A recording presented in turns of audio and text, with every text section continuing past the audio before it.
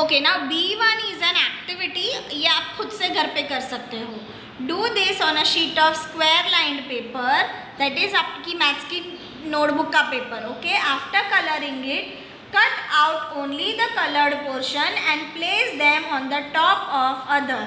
Do the shapes match? What does that tell you? आप दोनों ये कट करोगे और एक दूसरे के ऊपर रखोगे। क्या दोनों सेम आएगा? यस yes, दोनों आएगा तो हम हमें क्या पता चलता है इससे कि टेंस और वंस हम कुछ भी लिखे but the number remains the same the position only will change okay चलो, अभी ट्राई दिस करेंगे। फ़र्स्ट वन किया है। फोर टेंस ज़ीरो वंस तो उसको कैसे कन्वर्ट किया है?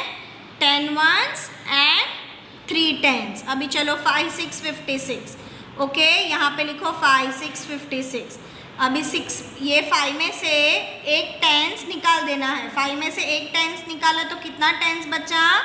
फोर और वन किसको दिया? सिक्स को। तो ये क्या हो गया? Sixteen ones now same way six one sixty one six tens में से वन टेन निकालेंगे तो कितने टेंस बचेंगे? फाइव टेंस सिक्स में से वन इसको दे दिया तो यहाँ लिखना है ना वन और वन वन तो ये कितने वंस हो गए? 11 ones and 5 tens is same as 6 tens and 1 ones. Okay.